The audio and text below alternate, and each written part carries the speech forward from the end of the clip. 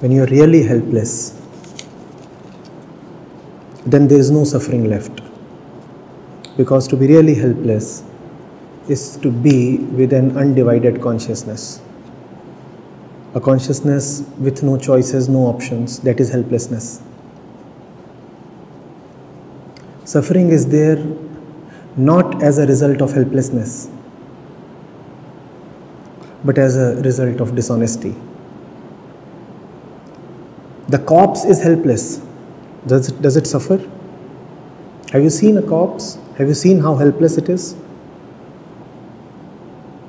You put it on the ground. Does it complain? You twist its arm. Does it complain? You spit on its face. Does it complain? It might be a king's corpse. You call it foul names. Does it complain? That's helplessness. It does not complain and it does not suffer. If there is actual helplessness, it is the actual end of all suffering. And here you are saying that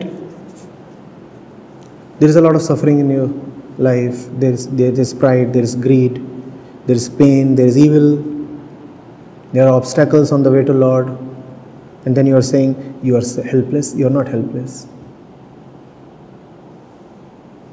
In fact, you are suffering because of your guilt.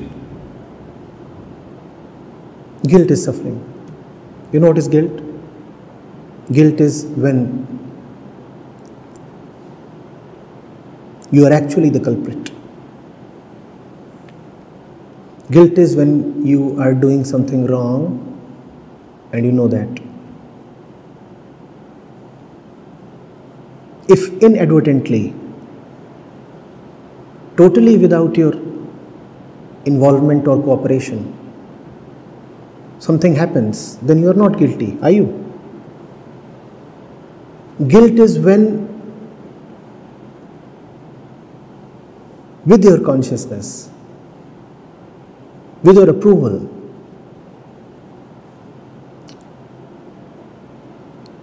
with your involvement, you are still letting evil to happen, actually abetting it.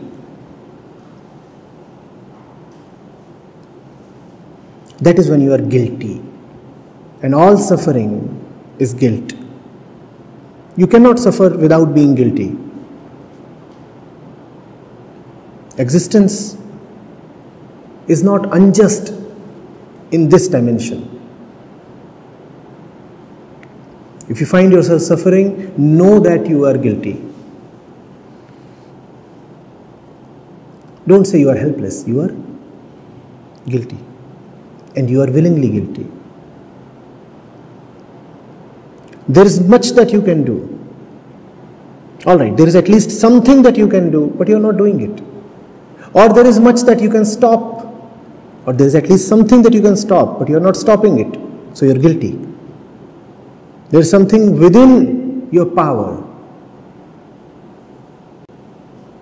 that you are not letting happen.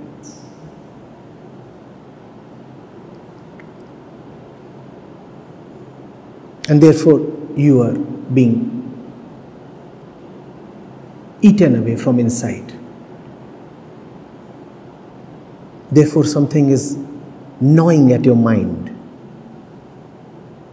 You're not able to pardon yourself.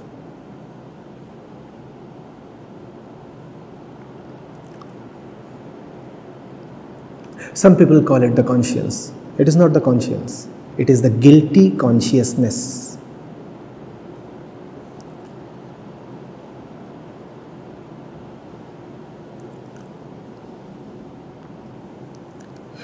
Even in those situations that we call as utterly woeful, utterly hopeless, if we just do that which we are capable of doing, would there be space and opportunity and time to despair, please. You are fighting a hopeless battle, let's say. You know very well that the result is preordained. The enemy outnumbers you 2000 is to 1. But if you do what you must, there is the time to suffer. Is there time to suffer? In fact, the more adverse a situation is, the more impossibly adverse a situation is,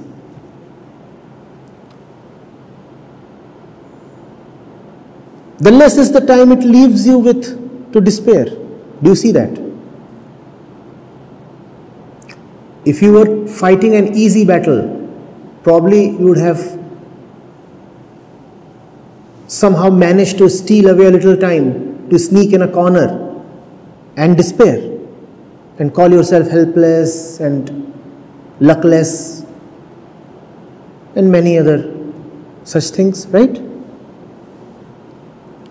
But if the enemy is overwhelming you 2000 is to 1, will you really be honestly able to find time to sneak away in a corner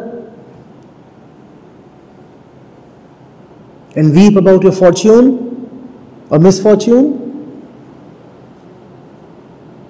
On the one hand, you say the situations are very, very bad.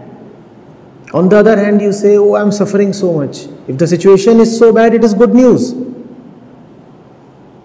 If the situation is so very adverse, it will leave you fully occupied. All your time, your energy will be then consumed in responding to the humongousness of the situation. No? The house is burning. Do you have time to cry and complain? Do you have time? What would you do? You would be running around doing your best to just quell the fire. No?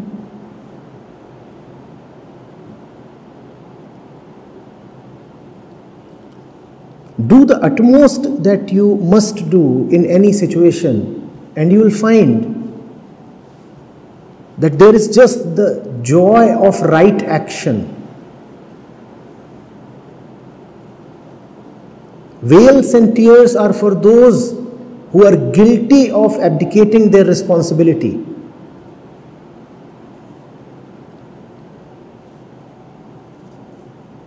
If you are fulfilling your responsibility, your responsibility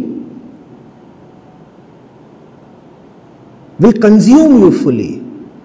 It will extract the last bit of energy out of you. Even to weep, you require some energy, right? Even to complain, you require some time. If you are really dedicating all your energy rightly, how are you left with energy to weep? If you are managing to shed tears, it only means you are a thief. You have stolen away some energy and reserved it for weeping and tears.